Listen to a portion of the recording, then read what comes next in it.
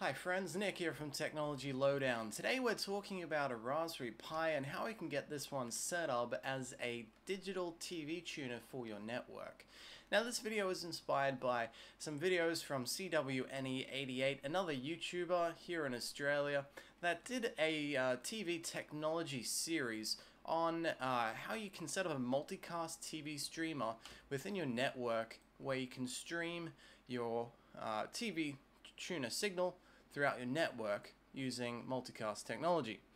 And his solution was great, but uh, I didn't want to go to the effort of uh, buying many digital TV tuners when I just had one. I didn't want to invest all that extra into uh, buying extra digital TV tuners when I don't really watch that much TV anyway.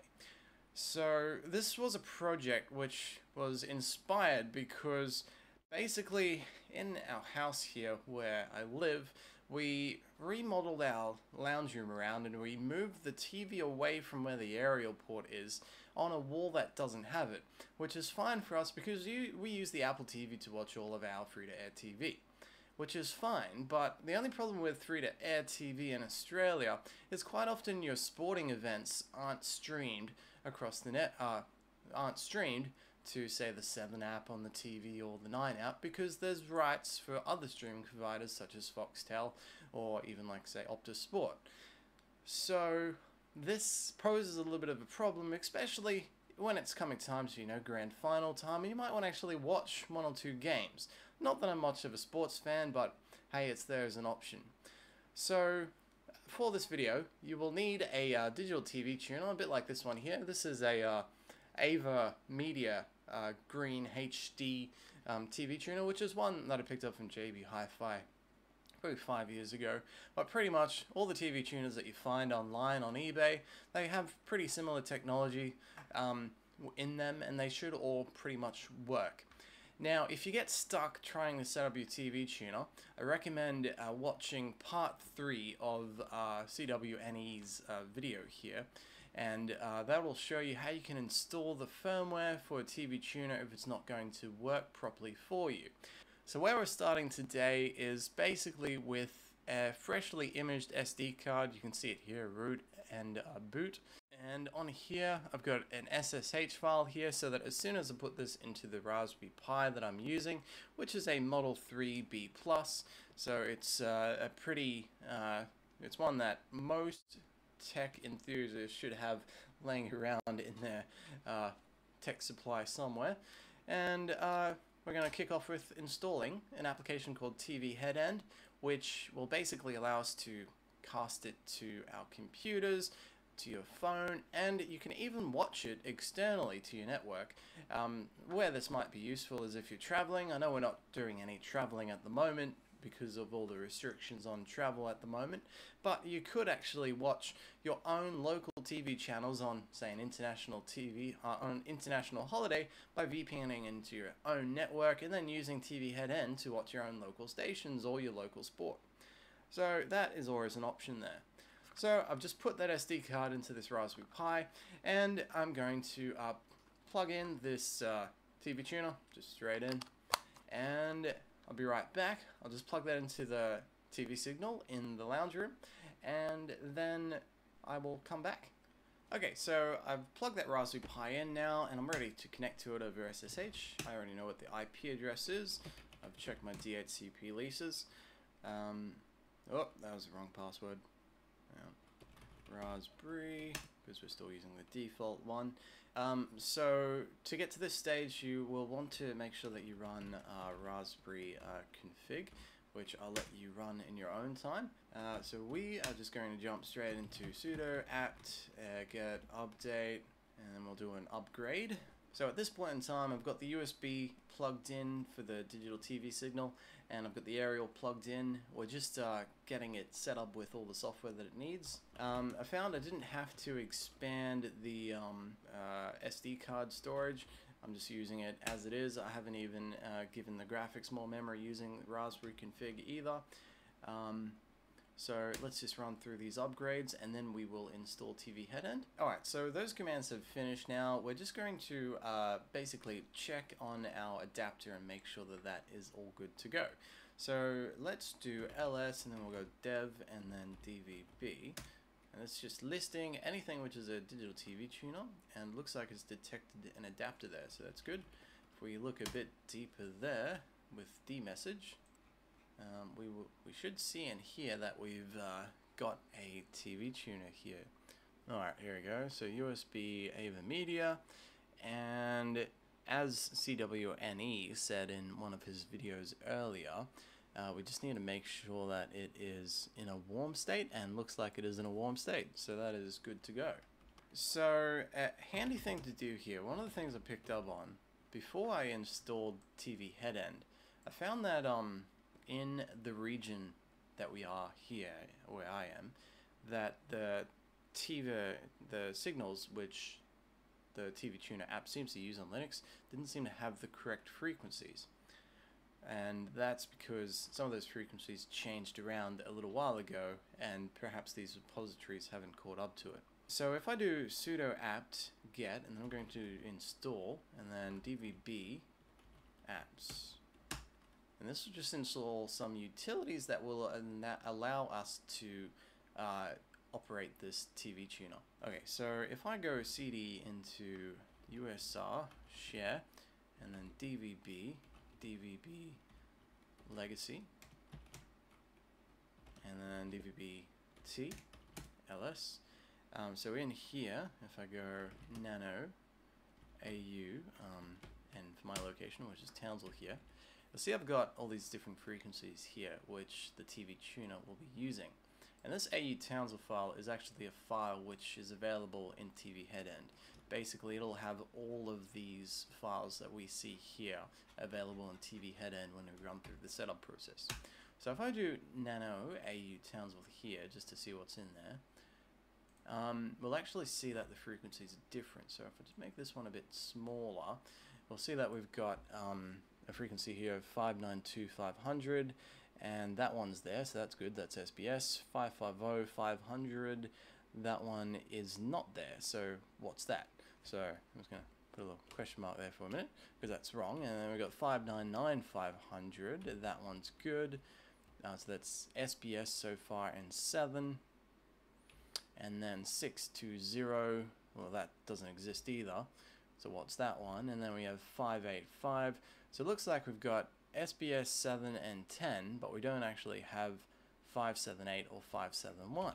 So pretty much I went into here and I went 578 and uh, 571.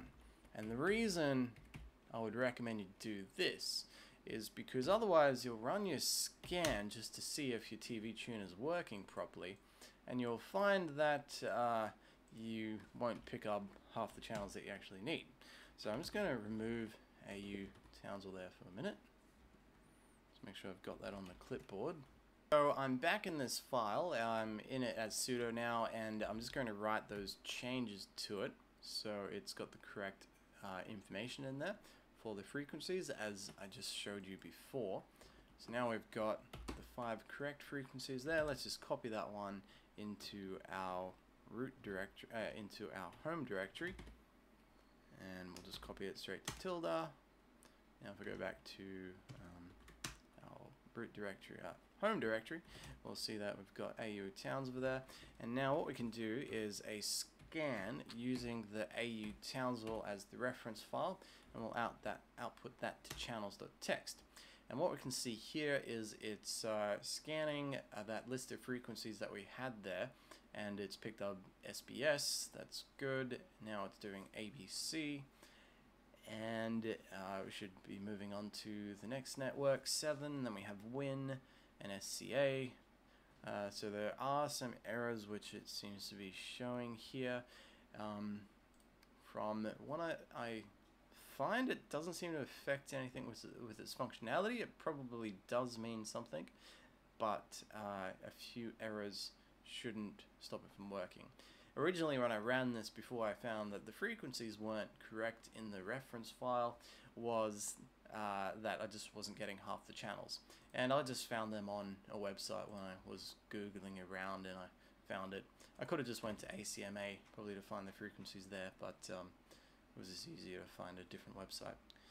Okay, alright, so um, that basically tells us that the TV tuner is working uh, in a roundabout way. Sure, we haven't actually seen what the vision looks like, but we know that the tuner should be working. So let's install TV Headend. It's uh, quite a simple package. It's in apt. If we install uh, TV Headend here, it will install and function very well. Alright, so it is a bit of a large package. It's about 100 meg there. So it will take a uh, few minutes to download. Alright, so it's just come up to this prompt here for username, uh, put one in, I'm just going to use Pi, and the standard one that I use on my network here. Do take note of the port, it is the same, but uh, you just need to remember 9981 is the port that it's on. So that's right, now that should be creating that.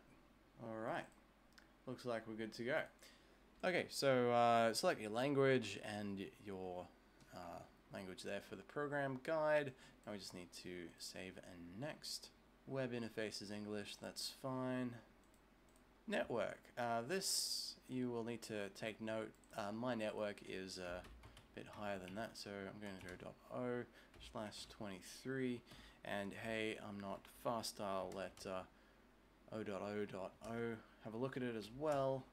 Um, I've got uh, VPN on here and I don't actually have the port open so that's perfectly fine for my network. Um, and that's all I'll enable at the moment.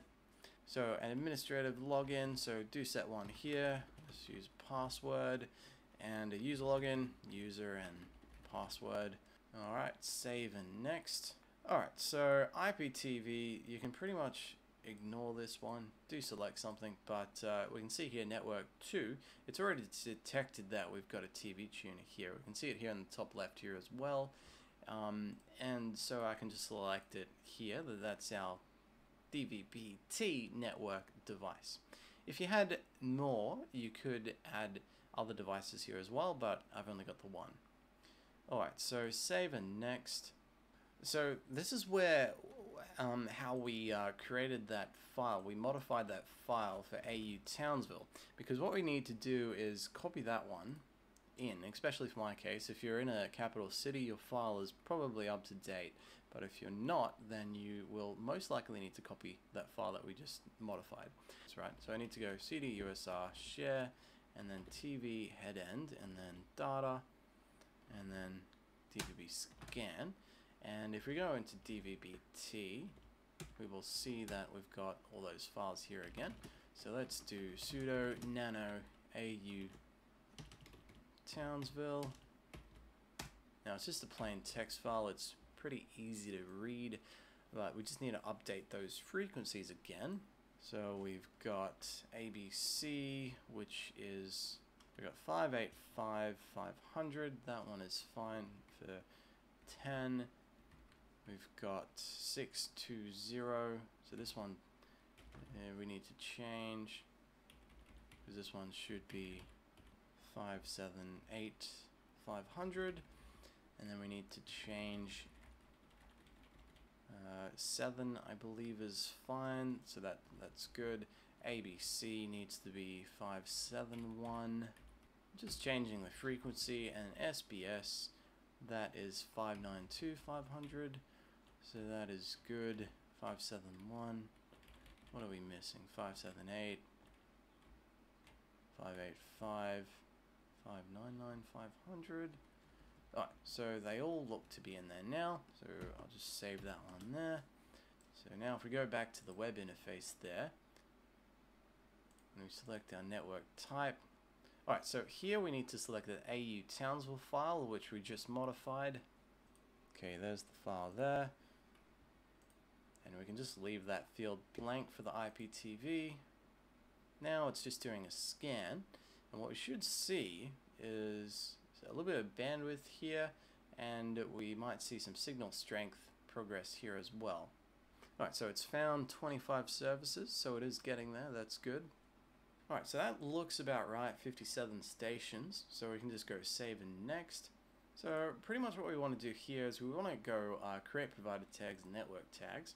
Then we can just go uh, save and next, and then finish. And what this should do is it should then update, say this TV guide here. Alright, so we need to go to configuration, then channel EPG, and then channels, and we need to go map all services. And what this will do is it will enable us to populate all, all the areas that we need to to be able to use this service well. So we'll map that. Now it does take a moment. Right, so that's done. If we go back to here, I might just give it a refresh. We should see it populate at some point here. Alright, so I've just clicked around a little while there and we can see that it's finally starting to populate some things here. Uh, the time zone here is 3.30 at the moment and we can see that it's updated what's currently on. Uh, we've got the 9 network um, and we can see that we've got a huge list of stuff here.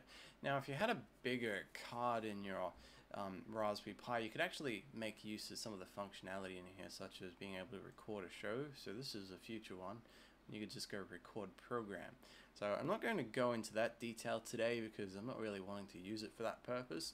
Uh, I pretty much just wanted something that I could uh, view a little bit of uh, live TV as needed for, say, watching sport, as I mentioned at the beginning there. Um, so how does this work? Well, we can pretty much just uh, click on any of these ones that are showing here, play program, and this will open up in VLC you put it Media in Player. And there's that video playing. I won't play much of that because I'll uh, get flagged for copyright there. We'll close that one there. Um, now, another way of being able to navigate for these channels is we can go back to uh, configuration, and it was under, I think, uh, what was it? Configuration channel. Yeah, here we are. So these are all the channels, right? So, uh, say if we wanted to watch ABC News, just here, we can just click on that one there and go open, and then it'll open up in ABC. Now, I've only got the one TV tuner here, but what you can actually do here is because all these ABC channels are pretty much on the same frequency, I could actually open up, say, ABC Me at the same time as well, and that'll open, and I'll just uh, go back to that other window. So there we go. You can see I've got uh, two streams running now from this Raspberry Pi. So I might just jump back to the terminal for my connection there. I'm just going to uh, install an app here just so you can see what it's actually doing. So ABC News, I don't believe that's HD, and ABC Me, that's not HD either. Uh, so let's start string ABC HD as well. So now we've got uh, three HD streams going here and this is back on the Raspberry Pi. If I do bandwidth monitor NG, we can see that that's uh, pushing out uh, about 1400 kilobytes per second quite nicely, and I'm watching all those streams simultaneously without any problems. So that's good. What about how many resources that this Raspberry Pi is using? So HTOP, um, so memory utilization doesn't look too bad. It's about 150 of 92. Swap is pretty much negligible, so that's fine. And CPU usage, it's it's humming along nicely. There's three streams. It's not significantly high, so you could probably actually um, uh, do a bit more with this Raspberry Pi. So in looking at this, you could probably run the Raspberry Pi quite happily with two TV tuners, and that way you could say have someone else on this TV head-end service watching a different channel on a different frequency utilizing the other TV tuner. Or you could be recording using that other TV tuner and then watching something else different with the other TV tuner. Well, I hope this video has been useful to you in learning how you can set up your Raspberry Pi as a network TV streaming device. So in a future video, I might show you how you can use your phone to connect to the service as well. Uh, if you've liked this video, please like it and uh, give it the thumbs up. If you'd like to see more, subscribe and tap the bell if you would like to receive notifications. Thanks for watching. Bye.